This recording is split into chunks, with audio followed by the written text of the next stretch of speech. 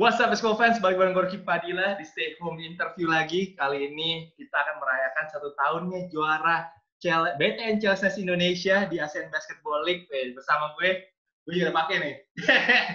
bersama gue shooter oh. andalan Celes, Sandi Keceng. Ceng, gimana kabarnya? Wih, sehat-sehat. Harus tetap sehat, coy. Siap. Ini lagi kayak gini nih sekarang sibuk apa nih? Kayaknya sibuk jualan ini nih, makanan nih kalau gue lihat di Instagram ini sibuk bakar biasa bakar terus bakar iya. ayam. Iya. kalau yang mau beli di mana tuh kalau mau beli? Kalau mau pesen ayamnya tuh? Bisa online. Okay. langsung DM via WhatsApp ada infonya di situ. Komplit. Jadi guys pastikan tuh DM ya. Katanya harus coba tuh makanannya katanya enak. Harus coba. Eh ceng ini kan tepat tanggal 15 April nih. Tahun lalu 2019 kalian juara di OCBC Arena nih. Jadi juara ASEAN Basketball League apa sih yang masih lo paling inget dari momen tanggal 15 April 2019 itu selain menjadi juara? Yang gua inget itu pas gua sama Welong tuh tunjuk-tunjukkan habis time out. Itu yang gua okay. paling inget. Iya. momen itu masih momentum. Ayo lu yang masuk gitu kan itu itu sih kocak sih. Dan Tapi akhirnya Welong yang masuk ya? Iya, Welong yang masuk kan. Coba Dia nggak sadar apa gimana sih waktu itu? Eh, nggak uh, tahu nggak sadar nggak tahu ngeblank juga pas lagi dengerin. Kan emang sebelum time out kan yang abis Brandon ngedang kalau nggak salah ya yeah. di time out. Diminta time out sama si coach Brian lagi duduk berlima. Biasa kan kalau yang di di court gitu kan time out duduknya lima yang duduk gitu kan. Terus oh kita lagi offense gitu kan. Lagi offense si Douglas Herring ngomong oh gimana kalau kita kita butuh poin nih kita taruh belong. Tapi abis kalau bola masuk kita temot kita ganti defense-nya minta si Sandi gue denger si Douglas terus si coach Brian oke okay, oke okay, belong ini. Si belong langsung duduk gue bung kok cuman berempat? Gitu kan. Gue lu? Enggak lu. Serius serius gue bilang gitu. Makanya pas Welong pas nembak masuk gue sampai gue ulang-ulang tuh videonya tuh. Eh untung dia pas nembak gak ngeblank ya. Iya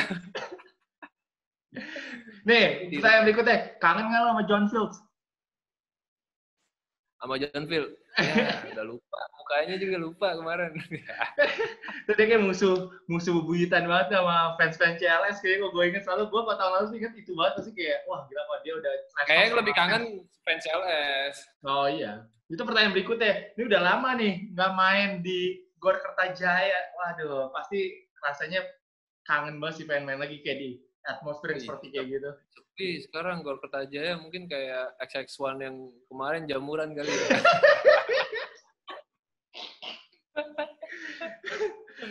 ada masih ada lah, masih ada coach Koko lah. Coach Koko gue masih suka main lah di situ. Iya, makin drag lock-nya makin panjang dia. Nah, pandemi.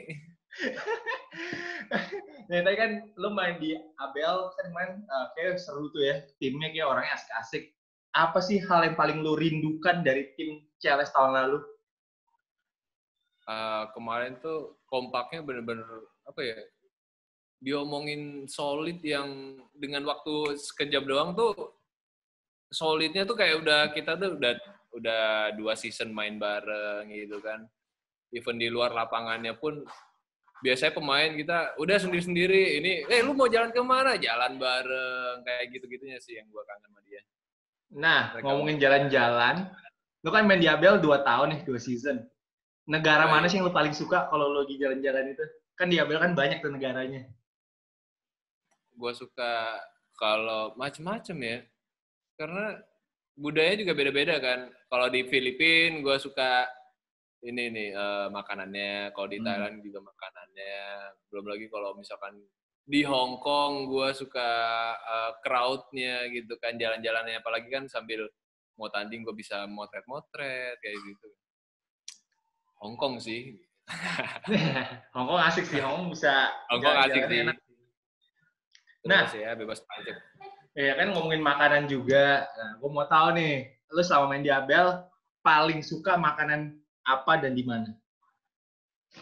Selama ABL iya selama di ABL selama di ABL gue suka sisik. Oh, Filipina dong berarti ya?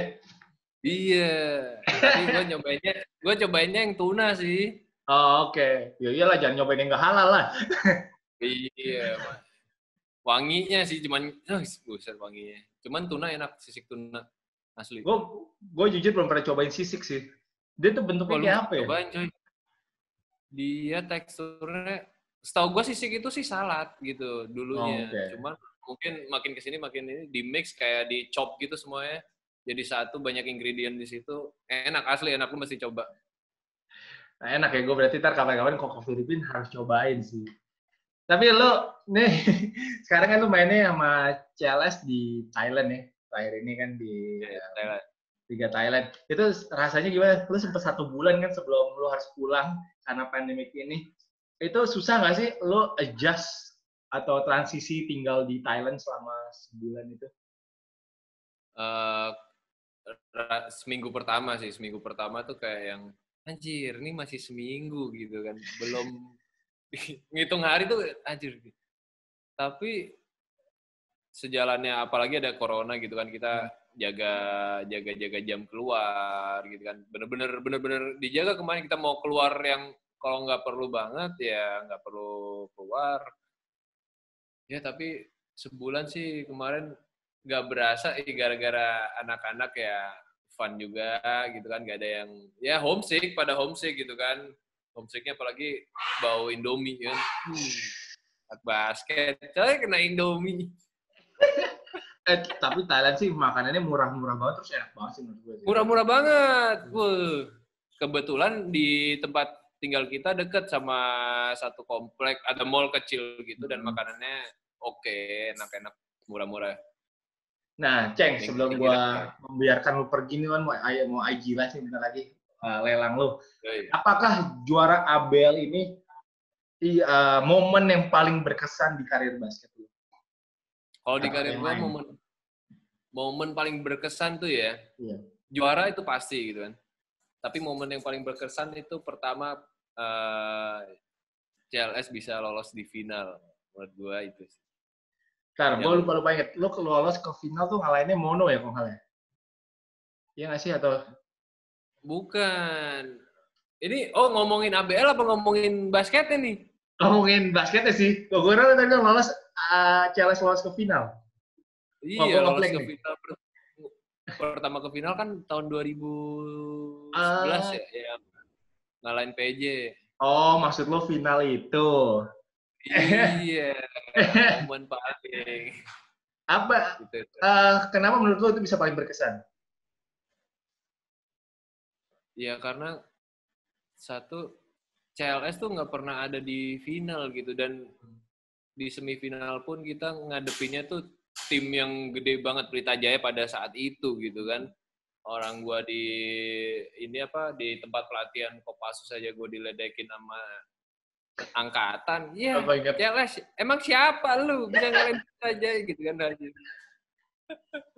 ya momen momen itu sih yang menurut gua uh, anjir bisa ternyata kita ke final gitu kan dengan ya kepedean anak Surabaya aja lah itu kemarin mah tapi lu kalau itu sih momen, momen berharga gue, momen berharga gue pas digendong sama senior gue si Ayan.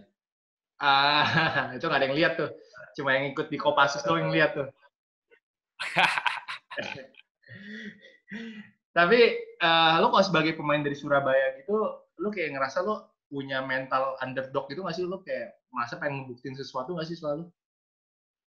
Pasti, pasti. Hmm. Apalagi dulu uh, basket gitu kan. Basket kalau kalau ngomong di Indonesia Jakarta gitu kan. Apalagi Jawa Timur Jawa Barat Jawa Timur Jakarta tuh udah beda gitu kan. Dari gaya main segala macem. Dari zaman Hexos Cup aja tuh ya. Hexos Cup gua main itu udah udah beda sih. Ngadepin tim-tim dari Jakarta gitu kan. Wah gila sih. Umurnya ketahuan sih main di Hexos umur lu berarti udah main tua tuh kayak gue Gua angkatan Nokia. angkatan Nokia, gue juga angkatan Nokia sih. Ceng, oke. Okay.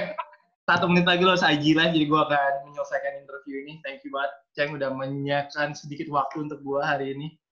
Udah menyiapkan oh, iya. waktu untuk sedikit anniversary lah hari ini lah juara yeah. ICLS berkesan banget buat kita semua. Kita juga waktu itu semua fans basket Indonesia happy banget dan bangga banget dengan bisa juaranya CLS di ABL.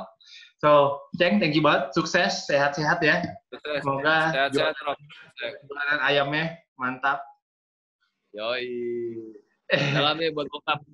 Siap, ntar gue salamin pasti. Thank you, Ceng. Thank you guys yang nonton. Jangan lupa untuk like, jangan lupa untuk komen, jangan lupa subscribe. Thank you guys for watching. We'll see you guys next video. Peace.